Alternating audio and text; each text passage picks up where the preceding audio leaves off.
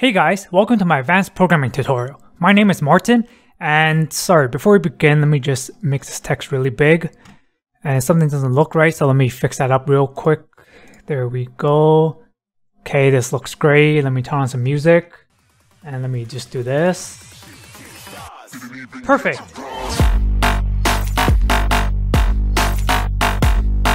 So today, we are going to recreate my final project for my Introduction to Programming course, which I just completed last week and I got an A minus on. Okay, so here it is. Basically, it's just a game where you guess a number between 1 and 100. You win if you guess it right and you have 5 guesses. So if you guess something that's too low, it will say under, and you guess something that's too high, it will say over. And you have three more guesses, let's just pick random numbers. Yeah, and there you go, that's what we'll be making today. Okay, so let's begin. We'll be making this in Java because that's basically the best programming language ever and it's the only one I know.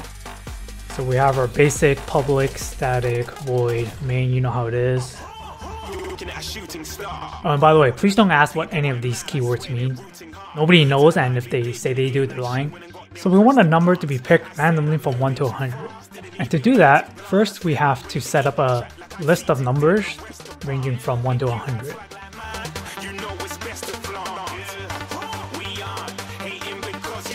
Okay, so the next thing we gotta do is to add more randomness to it. And to do that, we basically just need to shuffle the list, like how we shuffle a deck of cards. And just like how we shuffle a deck of cards, the more times we shuffle the list, the more random it gets. And this is why the initial list had the numbers 1 to 100 but in random order, just to add more randomness to it.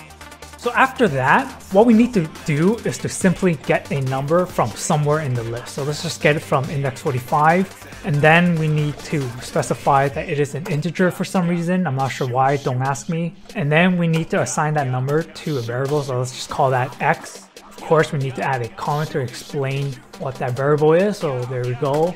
Oh, by the way, guys, if you guys can give a like, comment, and subscribe with a bell notification, it would really help me out. I'm trying to make YouTubing a career, and to do that, I need 10 million subscribers by the end of the year.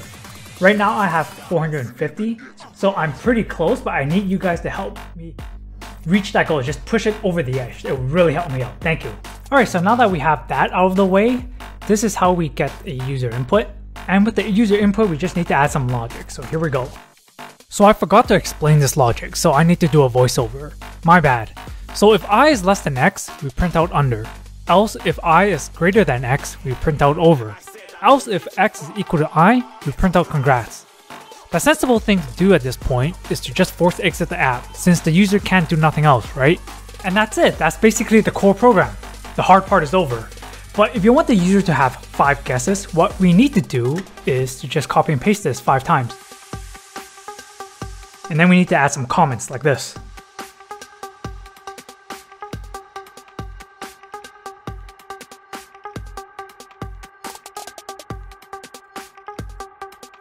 And then lastly, we need to do some error proofing. And how we do that is to just surround everything with a try catch. And if there is an error, we can just simply print out the whole error. But what we normally do in the real world is uh, print out the error with a email address so the user can email that email address and basically you know ask for what's going on or you know ask for a patch and then that's what that company would do they would just release another patch fixing the error and this is what big companies do anyway, um, like EA. So what I just showed you is very good practice. Optionally, you can add a print statement in the beginning of the app that kind of explain what the game does. But you know, it is optional. Uh, you don't have to do this because we can assume your users are not stupid and they can figure out what this app does by themselves. Okay, so let's just run the app and see if it works. And there you go, it works. And if you guys were wondering how to export this program into a standalone app, well, that can be an exercise for you guys to do on your own. Anyway guys, thank you so much for watching. Remember to like, comment, subscribe. Next week, I'll be releasing a super advanced PhD level tutorial which includes recursion and the Fibonacci sequence.